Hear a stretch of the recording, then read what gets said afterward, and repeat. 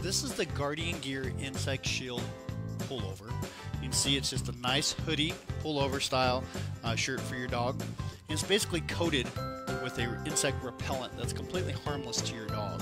It's a very nice uh, uh, coating that they put in. It actually binds to the actual fabric, so there's no smell, there's no feel, there's no oilness, there's nothing to it. It's already actually in the item. And it's designed to last up to 70 washes, which is generally how long the material and the, the shirt should probably last the dog. Um, it is a pullover style, so you don't have to worry about any Velcro, snap, or zipper enclosures.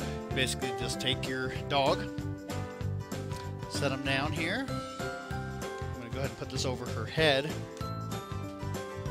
I took the tag you won't poke her in the eye. And feel free to take the tag off if you need to to try it on your dog. Just make sure you keep a hold of that tag uh, just in case you need to return it. So I place it over her head, guide her head through. I'm going to cinch this over her shoulders so I can actually get her legs close enough to actually just put it into these leg holes. And it's about that easy. Just go ahead and just bring it over her backside here all the way back to her tail.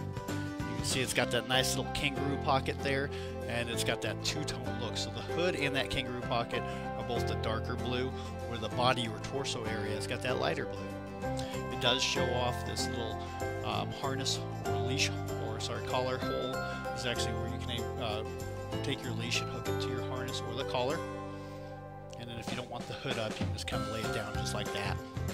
So it's really nice. That contrasting two-tone color does continue over to where on the sleeves you can see, as well as on that kind of bottom hem that goes around the stay dry high cut. You can see her whole chest is protected and covered.